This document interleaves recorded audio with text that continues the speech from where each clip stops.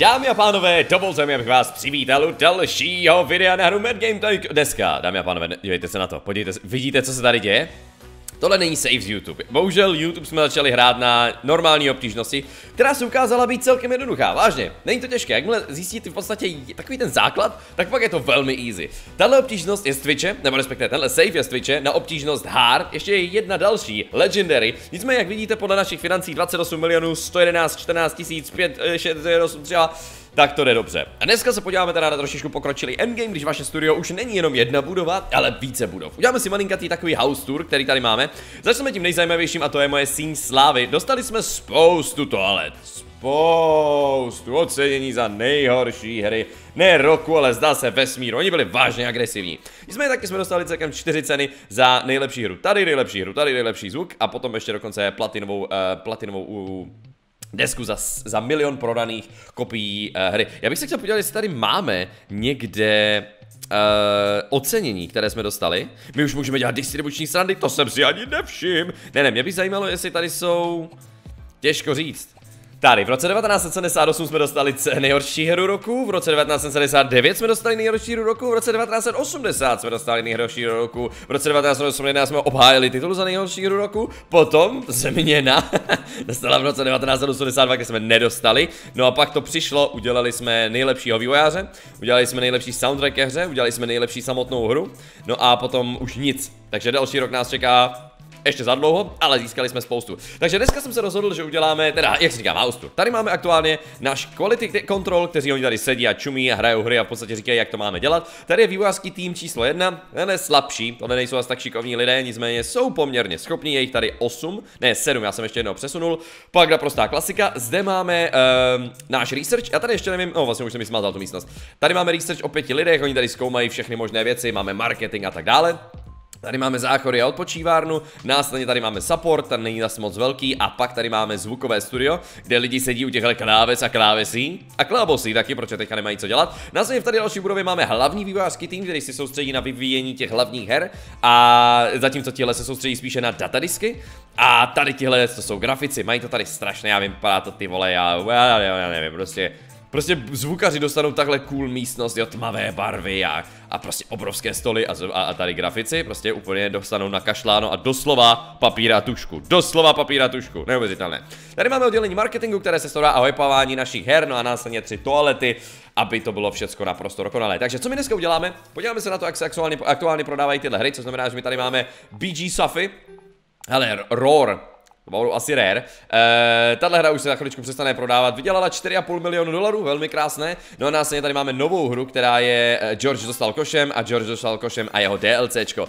Tihle aktuálně se soustředí na vyvíjení e, updateu toho DLCčka a tihle samotné hry. Bohužel, čím více vyvíjíte hru, tak už je to pryč. Čím déle vyvíjíte hru, tak tím uh, déle, tím více stojí ty jednotlivé updaty. To znamená, že my aktuálně, když máme takovýhle hit, tak se vážně soustředíme na to, abychom udělali masivní titul a investujeme hodně. Takže když se podíváme na update a dáme free update a dáme na tu základní hru a řekneme, OK, uděláme všechno, tak se podívejte na tu cenu vlevo dole. To stojí 350 tisíc na vývoj a to se prostě už nevyplatí. I přesto, že to vydělalo milion, tak to udržuje ty ceny. Dobře, ono to vydělalo mnohem víc než milion. E, nicméně teď už to nemá smysl. A místo toho, abychom teda udělali e, tuhle srandu, tak se podíváme na to, co bychom mohli vyvinout dál. Ono, popravdě řečeno, my máme tolik peněz, že nemusíme nějakým způsobem se starat o kontrakty. Ony ty kontrakty jsou fajn, protože oni trošku trénují ty jednotlivé zvukaře a grafiky, aby jsme mohli, uh, aby jsme neměli takové tušky, ale to v tenhle moment nevadí. Co by bylo mnohem lepší, je kdybychom uh, udělali nějakou novou hru. A dámy a pánové, já na vašich očích vidím, že vy tu novou hru opravdu chcete. Takže vy udělejte uh, pár updateů na tohle DLCčko, ne zas tak moc, ale jak vidíte, prodává se 10 000 kopií za týden, což je krásné, to určitě nějaký ten milion vydělá. No a já můžu udělat, aby vy jste tady neseděli dát support a budeme společně vyvíjet tady tyhle DLCčka, protože proč ne? A takhle krásně provázaně to funguje, je to moc fajn. Co vy tady researchujete? Ne, AAA hry, ne, kolik to stálo. Já jsem mi tam zase nechal ten automatik, no to je hruza. A máme nový engine, pozor. Physics 3. Jdeme na věc, tohle je úplně boží, protože ty jako engine máme super. Takže teďka dámy a pánové, pojďme se zasoustředit na výrobu uh, nějaké, a pozor, máme advanced, to budeme dělat nový engine brzo. Výborně. Pojďme se soustředit na to, jakou hru bychom mohli dělat. My totiž máme hnedka několik možností. To znamená, já teď aktuálně zruším tady tohle, už to nemusíme dělat, já myslím, že to je v pohodě. Naopak to dělejte teďka vy, to Bčkové studio, to znamená updates, updates na addony. A podíváme se teda, jestli tohle stojí. To už stojí taky hodně. Myslím si, že to už se nevyplatí uh, vyvíjet, takže tu hru necháme tak je. George dostal košem, ať vydělává miliony. A v tenhle moment se pojďme pozamyslet nad tím, jakou hru budeme vymýšlet. Samozřejmě můžeme udělat pokračování, což je vždycky skvělé z toho důvodu, že my velmi jednoduše můžeme v podstatě navázat na úspěch předchozích her. Takže když se třeba podíváme na třeba tady tahle, BG, to je, to je teďka ta poslední hra, která měla 93, to byla jako podle mě úplně ta nejlepší hra, kterou jsme dělali. Pak George, který byl taky super, měl 70, no ale pak tady byla spousta dalších, které stály za řeč, ale nebyly možná až tak dobré, no a my bychom je mohli vybůstit. Co znamená třeba pan Stolger, my jsme tady dělali hodně, uh, on by tady měl být jednička pana Stolgera, měla by tady být i trojka pana Stolgera, já nevím, jestli teďka aktuálně, Uh, ano, to, tohle je vlastně ta trojka, já jsem hledal ty předchozí, ale pochopitelně to bude to nejposlednější. To znamená, že poslední hru jsme vyvíjeli před čtyřmi lety a byla to skill hra. Což je celkem v pohodě. My jsme se naučili dělat skill hry, umíme dělat, uh, neumíme moc dělat adventury. 40%, jak vidíte. Ono samozřejmě s každou vydanou hrou to je lepší, protože už víte, co máte dělat a váš quality control vám pomáhá. Ale kdybychom chtěli teda udělat nějaký hit, nějakou fakt perdu, tak eh, bychom teoreticky mohli. No a já se teďka zamýšlím nad tím, jakou uděláme hru. Protože my tady máme roleplay, to je teďka ten poslední žánr, který víceméně tak trošku testujeme, abychom nějakým způsobem to zvládali. No a my máme, eh, tohle jsme zvládli udělat na 69%. A já tak přemýšlím, kdybychom udělali teda roleplay, to znamená, že ta je v pohodě. My tady máme pomocí našeho quality researche, podívejte se na to, máme spoustu bodů, které oni mi říkají, že umím, ale některé, které ne. No a to je přesně to, co uděláme teďka. Takže, v tenhle moment já zruším vývoj toho engineu, Cancel task, ano, no se to nezruší ten progres a já dám topics a vzhledem k tomu, že kovboji jsou v trendu, tak si je vyhledáme a uděláme velmi rychlý research na kovboje. Protože když budeme mít kovboje, můžeme udělat velmi trendy hru a to by se mi velmi líbilo. Takže teďka se vraťte zpátky k tomu engineu a udělejte oba dva. Udělejte oba dva enginy, ve finále to budeme potřebovat. Takže rozhodli jsme se, že uděláme kovbojskou hru. Výborné, to je vážně výborné. Takže jak dlouho bude ještě tenhle trend trvat? Ještě 51 týdnů. Úplně v pohodě, takže vyvíjeme novou hru a vytvoříme úplně novou značku, což bude velmi velká sranda. Já si zase sáhnu po placených odběrech z tady z YouTube a úplně náhodně scrollnu, víc já scrollnu na druhou stranu, úplně úplně random a bude to Sarkiny. Hej, já si nedělám srandu, já vím, že Sarkiny u minulého video psal, že nedostal nikdy nic takového a teďka mi na něj padl zrak. Nedělám si legraci, to je, to je, to je, to je, to je zaplacený tady tohle. Kiny, Sarkiny a jeho revolver. Proč budeme dělat kovbojskou hru? Takže hlavní téma budou kovbojové. My tady máme některé, které se osvědčily velmi, ale já myslím, že kovbojové roleplaying hra to bude dobrý. Můžeme zvolit subžánr, to znamená, pokud bychom chtěli udělat něco to znamená, že by to třeba byla adventura nebo závodní. Já bych hrozně rád třeba udělal uh, akční hru s kovbojema. Víte co, akční RPGčko, to je dobré, ale já si úplně nejsem jistý, jestli jsem schopný udělat teďka dobrou akční hru, protože my nemáme žádné zkušenosti s akčními hrami. Ale víte co, proč sakra práce, ne? Ale jako dobře, možná ta hra nevydělá úplně miliardy, ale to bude to v pohodě. Pak tady máme licence. A dámy a pánové, licence jsou neuvěřitelný mocný nástroj, když si můžete koupit novou licenci podle toho, kolik máte peněz a říct třeba, hej, jestli Scarnose můžeš použít tuhle licenci na dvě hry. Je to velmi populární, protože to má pět hvězd. A v podstatě ty to zajistí to, že ty budeš mít velmi, velmi, velmi úspěšné prodeje, protože to je, jak kdybyste vydělali hru s názvem Harry Potter. Lidi automaticky budou e, mít zájem, i ti, kteří úplně nejsou hráči. To znamená, my tady máme nějakou aktivní licenci, Aurora in Wonderland, má to pět hvězdiček a máme to ještě na čtyři hry, takže výborně, jméno teda používat nebudeme. No a budeme vytvářet hru o velikosti B+. Ačko nemusíme, protože tolik features stejně ještě nemáme. Platformy, uh, největší je Byte 2, nebo možná ještě dokonce Není, pade, to, říkám, počítač je největší pochopitelně, pak ten Atari, teda Katari, pardon, Katamari Damazi a potom tady máme Byte 2, to jsou všechno čísla, které mají 7 milionů, 11 milionů a tak dále. Ono bude trošičku náročnější uh, vydat tyhle hry, na všechny tyhle platformy, ale to bude v pohodě. No a dáme si náš vlastní engine, který je teda velmi šikovný, ale zdá se, že eh, nemáme dostatečnou technologii, takže musíme zvolit jinou. Nevadí, to mělo být OK. Ten engine je fajn, dělá poměrně hezkou grafiku, má nějaký ten fyzikální engine, učíme se s ním. Dobrý. Protection proti kopiím, eh, my aktuálně máme tu nejnovější, to je 93%, já myslím, že tím se bát teda nemusíme, jdeme teda dál. No a teďka přijde ta zábavná část, kterou já osobně mám velmi rád. A v první řadě se podíváme teda na game concept, který, nebo respektive Game Report u předchozích RPG her, které byly uh, tady tohle. U pana Sluj bylo 40, 30, 15, 15. OK, takže dáme to na 40, 30, 15, 15. Tohle potřebuje RPG hra. Je gameplay důležitý, grafika důležitá, hudba, technika ne až tolik. No a teďka přijde ta velká sranda, protože tady tyhle hranaté věci určitě víte, že máme to dát na 8. Jsme průzkumem zjistili, že dobré je, aby RPG hry byly osmičková délka. Hloubka pětka. Inovace 2, nepotřebuje to být inovativní. Příběh, no musí být dobrý. Level design 5. No a teďka tady máme celkem 3, které my nevíme, kde mají být. A přesně proto se podíváme aktuálně do fan letters a podíváme se, co oni nám říkali o téhle hře. Aby jsme tohle. Enthusiastic about sound, to znamená, že jsme to trefili, control taky dobrý. Too much for casual gamers a lepší charakter design. OK. Too much for... Uh... Takže dáme to více do core gameru asi. Tohle teda pozměníme tak, aby to odpovídalo. A Počkej, já jsem úplně, teďka jsem se úplně zamyslel a úplně jsem ztratil všechny myšlenky, které jsem tady měl. Co znamená better character design. Ano, říkal jsem to dobře. Takže lepší charakter design. Ono jsme v RPGčku. Takže by bylo fajn, kdyby jsme to udělali jako hodně. Mission design a beginner friendliness. Já si myslím, že beginner friendliness u takovéhle hry nemusí být moc dobrý. Je to RPGčko. Tak, co kdybychom to zkusili takhle? Ono je vážně klíčové, když vy víte, chcete udělat delší, uh, delší sérii v vašem studiu, je fajn, když vážně hrajete si s těmi čísly. Co znamená, že pokud jsme u minulého, uh, u minulého toho sluj PDK měli, uh, měli mission design na pětce, charakter design na pětce a beginner friendliness na dvojce, tak tyhle čísla nechceme. Je, už zase tady mám beginner friendliness, to nechceme. Co znamená, tohle mělo někam jinam. A tohle nesmí být na pětkách, protože když to bylo na pětkách, no tak neodhalíme to, které je číslo správné. Takže ještě jednou to čeknu, jestli to teda máme teda dobře. Vypadá to dobře, OK. A mě by teda zajímalo, co o tom teda říkali. Uh, better character design. A ten character design byl teda na pětce, takže my ho necháme, necháme ho na šestce. Možná ho dáme dokonce i na sedmičku. A nebo necháme, dáme to na sedmičku. Je to RPG hra, kurňa. Tak, říkali, že to bylo moc pro core gamery, a to ještě jednou, sorry, že to furt čekuju, ale já mám v hlavě miliardu věcí teď aktuálně. Too much for, uh, for casual gamers. Můžeme udělat to trošku více pro core hráče.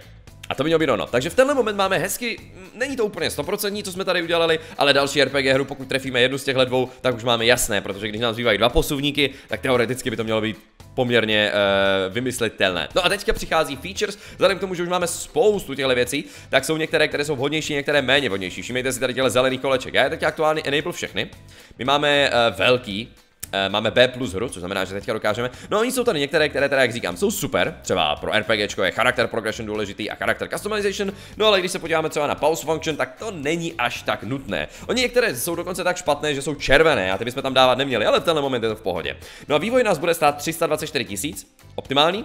Dámy a pánové, já myslím, že se můžeme vrhnout do věc.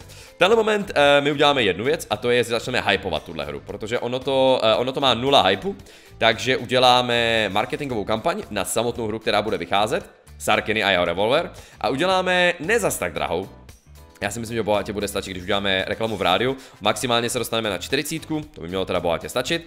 A uh, dáme automatic repeat, to naštěstí nestojí tak moc. Zastavíme to, jakmile ten hype je na maximálně 40, třeba televize to dokážou dostat na max stovku a stovka jako je fakt dobrá. Takže necháme to být a teďka řekneme našim týmům, což znamená grafickému studiu, hej, udělej speciální grafiku, speciální efekty, speciální uh, uživatelské rozhraní, speciální pozadí, speciální efekty, speciální charaktery na hru Sarkiny a jeho revolver. Investujeme do toho hodně, podívejte se na to. Tohle přidá k těm 300, no skoro 400 tisícům, dalších téměř 200 tisíc. To znamená, vývoj téhle hry bude neuvěřitelně náročný, no a tahle tlustá fialová čára značí, že tady budeme fungovat takhle. Stejně tak řekneme e, našemu quality service, řekneme, hej, upgrade Sarkiny a jeho revolver, uděláme quality assurance, uděláme control, uděláme user interface, všechno zase zkontrolujeme a jakmile budeme mít hotovo, Vylaďte bugy. Dalších 100 tisíc, no a to samé teda uděláme se zvukaři, kteří se budou teda soustředit na zvukové efekty, aby byly úplně to nejlepší. Celková cena a vývoj bude brutálně drahý. Už teďka to je skoro, skoro milion a to jsme ještě nezačali platit v podstatě nic. No jedeme. No a teďka budeme doufat, že se dostaneme do nějakých zajímavých částí. Doufáme, že hype naskáče absolutně správně a že tyhle čísla půjdou hodně vysoko. Já se mezi tím podívám na job market, podíváme si, jestli tady náhodou není nějaká zbytečně dobrá osoba. Máme tady 50 na game designu a máme tady 53 na music. To je myslím, že v pohodě. Uh, vy se teďka nudíte a vy vysloveně nemáte co dělat, takže já vám dám support. Jako já bych mohl jak říkám, ono se nevyplatí už nám dělat DLCčka na tuhle hru, takže necháme, ať supportí vývoj Sarkinyho EO revolveru a pane Sarkiny, tahle hra bude top! Potřebujeme spoustu peněz, dámy a pánové, si možná říkáte, a co dál? Jsme v roce 1985, blíží se nástup MMO her a my jsme si právě odemkli novou budovu, která slouží k production. A my budeme moct vyrábět. Co? Já nevím. Možná vlastní speciální edice? Bude to dobré, ano, to budeme potřebovat tuhle místnost, ale krucifix tahle místnost stojí 8 milionů, což je fakt jako dost. Vy si říkáte, hej, máš 30, no jasně, jedna a dvě špatné hry a jsme v čudu.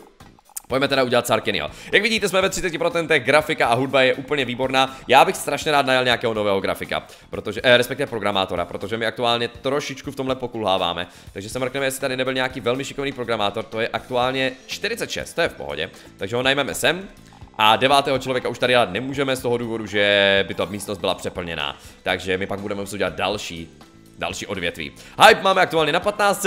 Vynikající. Support supportí, zvukaři zvučí. Děláme pokročilé věci v našem engineu a snažíme se vylepšit Sarkinyho, jak to jenom jde. Samozřejmě tenhle vývoj uh, už je v 50%, ale zdaleka nejsme tak jak daleko, jak bychom mohli mít, protože aktuálně zvukaři ještě musí dodělat tohle a dvě další. Tihle musí udělat tohle a dvě další a tři další a tihle dokonce čtyři. Takže tenhle vývoj se potáhne déle, ale ono je fakt fajn tu hru, když jsme si trošku jistí, že bude úspěšná, nechat uh, takhle Eh, takhle v tom inkubátoru.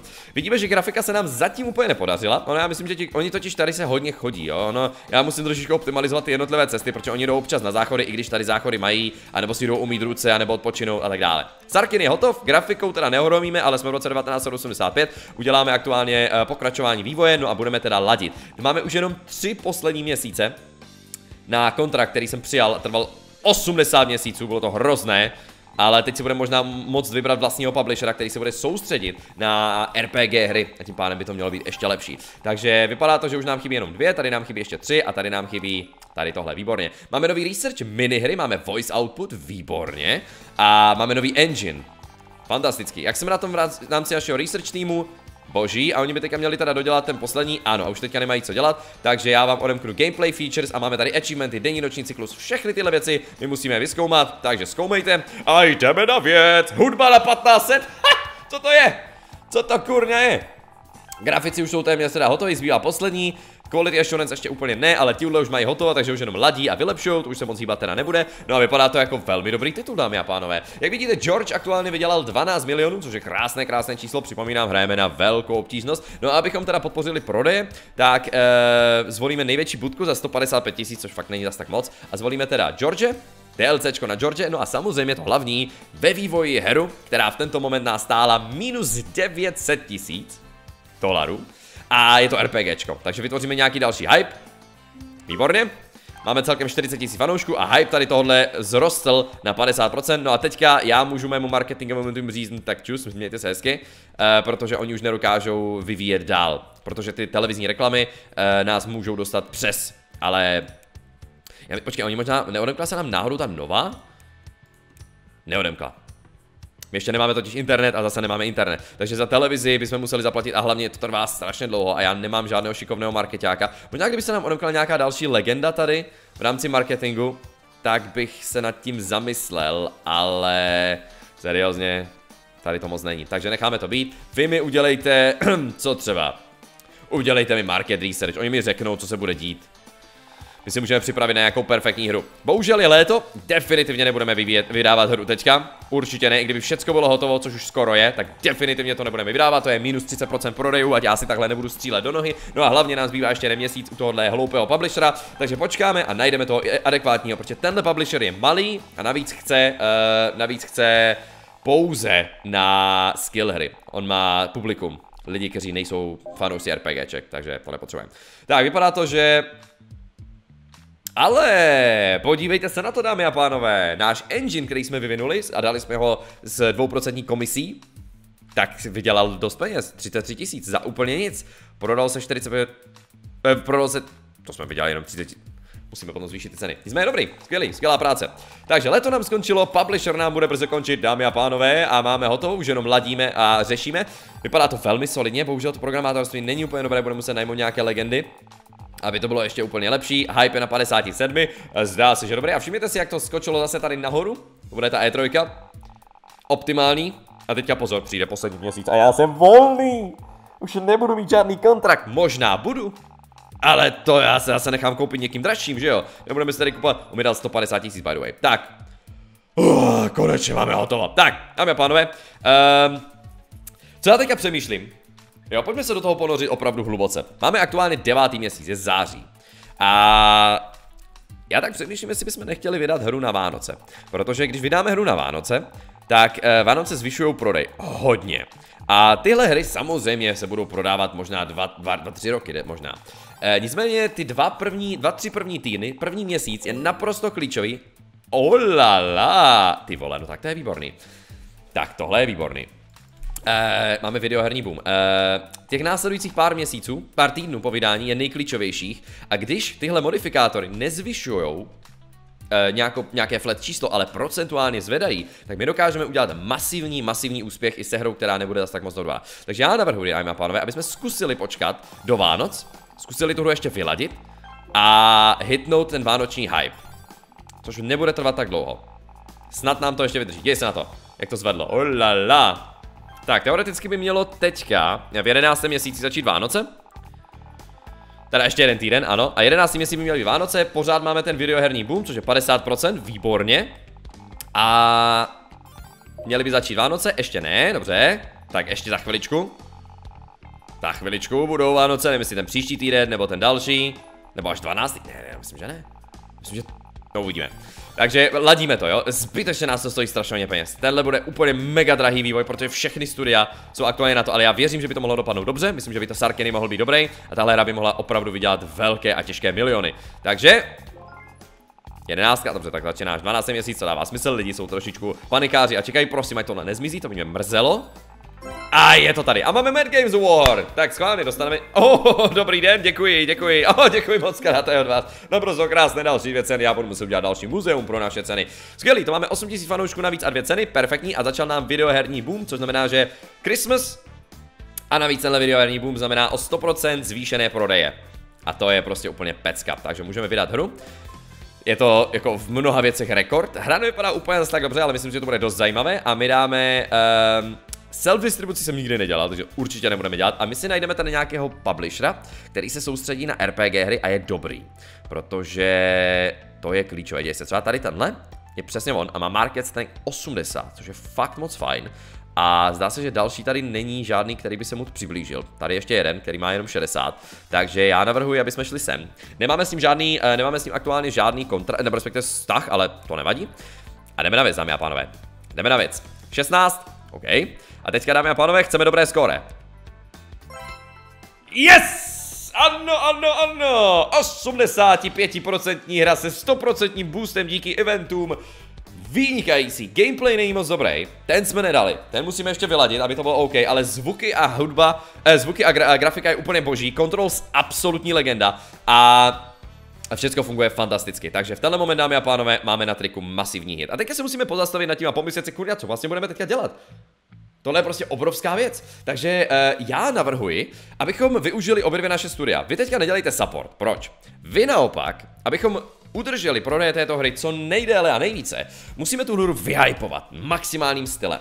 To znamená, že vy udělejte updaty, free update na tu leru. Tohle to slabší studio, na Sarkenyho Air Revolver a vy uděláte úplně mega velký update. Stojí to 150 tisíc na jeden cyklus, což znamená, to bude stát hodně, hodně peněz, ale to je úplně v pohodě.